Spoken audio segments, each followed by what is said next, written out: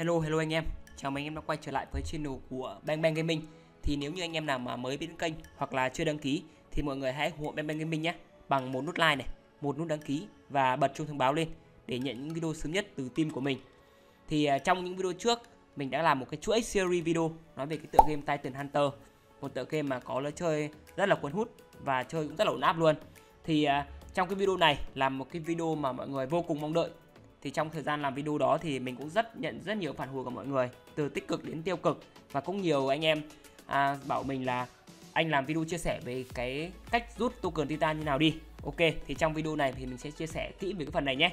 Và nó cũng có một số cái mẹo nữa để anh em là có khả năng cao là chúng ta rút được token.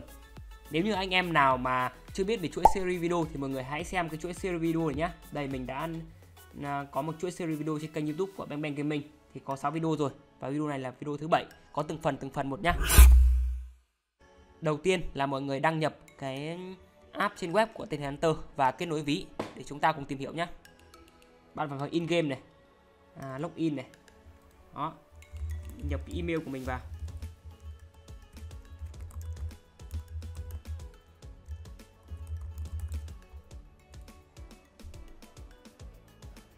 Ok, sau khi login xong thì chúng ta sẽ à, có thể là ấn vào cái phần à, connect wallet đây này.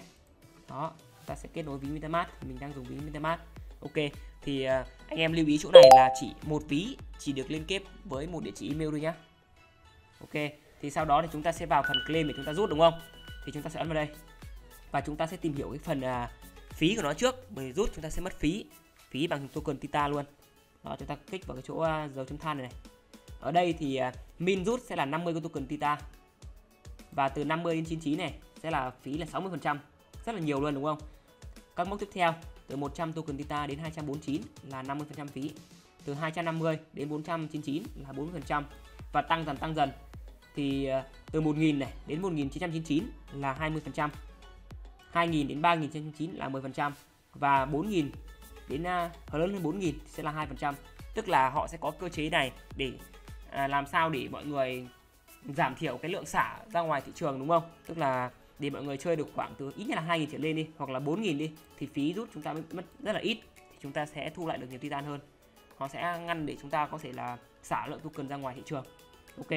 Thì giả sử anh em có 1.000 token đúng không? Hơn 1.000 token thì chúng mình chúng mình sẽ mất 20% phí tức là 1.000 token đi thì là mất 20% tức là sẽ mất à, 200 titan rồi, chỉ được 800 thôi đúng không? Trong khi đó chúng ta mà có 4.000 token thì chúng ta rút chỉ mất 2% thôi là chỉ mất 80 titan thôi. Chúng ta sẽ rút được 3.920 titan cực kỳ rất là nhiều đúng không?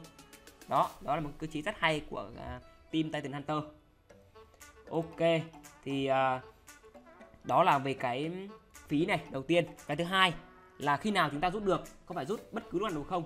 Thì hiện tại câu chuyện này là không nhé sẽ có giờ để chúng ta rút và giờ này thì họ sẽ không cố định. Một ngày 24 giờ thì họ không cố định người nào không cố định giờ nào cả. Họ sẽ random thì việc của chúng ta là chúng ta phải theo dõi theo dõi thời gian. Khi nào mà họ cho rút thì chúng ta rút đúng không? Thì bằng cách theo dõi như nào thì chúng ta sẽ theo dõi trực tiếp trên cái ờ, Titan Hunter official này à, kênh ờ, global ấy. Thì chúng ta sẽ khi mà có thông báo khoảng trước 30 phút 20 hoặc 30 phút hoặc 15 phút gì đấy họ sẽ thông báo. Và sẽ có một con là con con bot thông báo giờ để chúng ta claim. Giả sử nhé đây ví dụ mà cứ tìm lại này lấy demo cho mọi người luôn. Đây, ok. Đây có một con bot thông báo này thông báo ờ, reward pool, tức là pool trả thưởng sẽ được refill tức là điền đầy lại vào 10 giờ 30 am UTC thì 10 giờ 30 am UTC tức là chúng ta phải cộng 7 lên. Bây giờ Việt Nam sẽ là cộng 7 UTC là cộng 0 nhá. Ok, cộng 7 lên, thì 10 giờ 30 sẽ là 5 giờ 30 chiều, tức là 17 giờ 30 chiều giờ Việt Nam. Thì chúng ta phải canh đến giờ đó, thì chúng ta sẽ claim token, thì có khả năng sẽ được rất là cao. Ok, thì đó là cái công việc thứ hai là chúng ta sẽ canh thời gian để cho claim, đúng không? Thì sau khi mà đến giờ thì chúng ta claim, thì chúng ta sẽ còn sử dụng là muốn claim bao nhiêu, chúng ta sẽ nhập số vào đây. Claim một nghìn chẳng hạn. Đó, hoặc một nghìn chẳng hạn. Bạn có bao nhiêu? Hoặc là anh em muốn claim hết, thì chúng ta sẽ sử dụng use max tức là claim toàn bộ luôn. Thì tối đa nhé, tối đa cho việc claim này là 5.000 token một lần. Tối đa. Và giả sử khi anh em claim mà không được, thì lần sau chúng ta claim lại, phải claim lại số token cũ. Giả sử hôm nay chúng ta có 2.000 token, mà chúng ta claim ấn vào 2.000 ấn à, withdraw mà không claim được, đúng không? Thì chúng ta sẽ bị pending cái lệnh đấy cái lệnh 2000 đấy. Thì sau hôm sau chúng ta chơi được lên 3000 mà chúng ta sẽ không rút được 3.000 hôm sau nữa mà chúng ta phải rút cái pending trước là 2.000 thì chúng ta phải rút được cái lệnh 2.000 đó. Thì cái phần còn lại chúng ta mới rút được ở những ngày tiếp theo. Ok và sẽ claim 2 ngày một lần này. Vụ hôm nay claim thì phải hai ngày nữa tức là 48 tiếng tiếp theo chúng ta mới claim được lần tiếp theo. Thì đó là các thông tin mà mọi người cần phải nắm. Thì uh, sau khi mà đến giờ claim thì chúng ta claim rất đơn giản thôi. Ấn withdraw này. Giả sử đến giờ nhá chúng ta canh đến giờ chẳng hạn. Đó thì nó sẽ hiện một cái gọi là nó sẽ hiện cái transaction trên MetaMask này để chúng ta confirm. Chúng ta sẽ ấn confirm. Và sau khi confirm xong thì chúng ta sẽ qua tab hoạt động này để chúng ta tăng tốc lên tức là tăng tốc phí ga lên. Để tức là đây là đua ga đấy để có thể là cái giao dịch được thực hiện nhanh hơn và chúng ta sẽ claim được cái token đó. Đó là cái mẹo à, đầu tiên. Đó là khi mà cái transaction được uh, gọi là được confirm thì chúng ta hãy tăng tốc lên để chúng ta tăng cái phí ga và giao dịch chúng ta sẽ hoàn thành nhanh. Ok thì họ bơm pool. Thì họ sẽ bơm pool như thế nào đúng không? Thì đến giờ họ bơm đúng không? Thì đây chúng ta sẽ lưu ý này. Đây là những lưu ý rất là quan trọng để mọi người có thể là tăng cái xác suất claim được. Thì à, mình đã tìm được cái địa chỉ ví để họ bơm pool tức là bơm vào cái số lượng titan vào cái pool thưởng để mọi người claim. Thì à, hiện tại sẽ có hai pool như sau đầu tiên là một pool cho người mới hoàn toàn, tức là người chưa claim lần nào thì sẽ đẩy hết vào một pool. Pool thứ hai là pool người cũ, tức là đã claim thành công một lần trở lên rồi thì sẽ đẩy vào một pool. Đó, thì họ mỗi ngày sẽ mở ừ, bơm vào hai pool đó. Thì anh em, ví dụ ngày hôm qua là ngày 26 tháng 5 chẳng hạn. Đó, thì họ sẽ bơm hai pool này.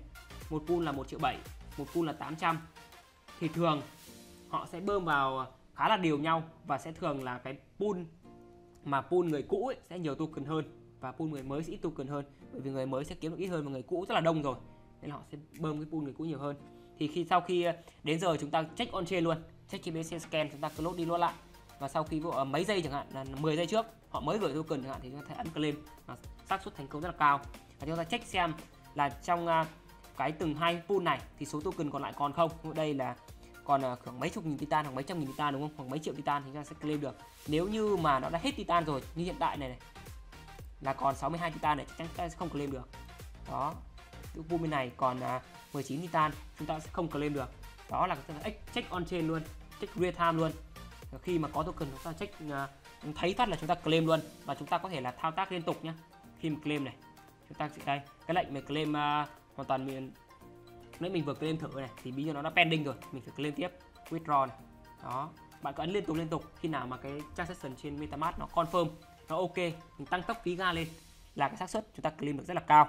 Đó. Đó là những cái mẹo và những cái hành động mà mình đã thực hiện và đã claim được khá là nhiều lần rồi. Nên mình muốn chia sẻ cho anh em.